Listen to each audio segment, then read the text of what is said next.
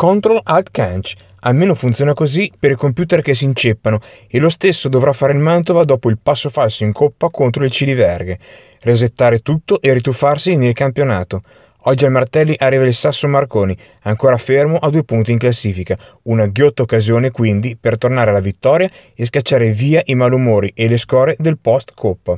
Una battuta d'arresto, quella di mercoledì, che è servita al tecnico biancorosso per fare leva, durante il lavoro settimanale, su alcuni aspetti negativi evidenziati anche nelle prime giornate di campionato.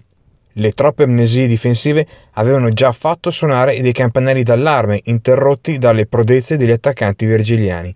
Il Mantova quindi oggi è chiamato a fare quello che sin qui ha sempre fatto bene, segnare appunto.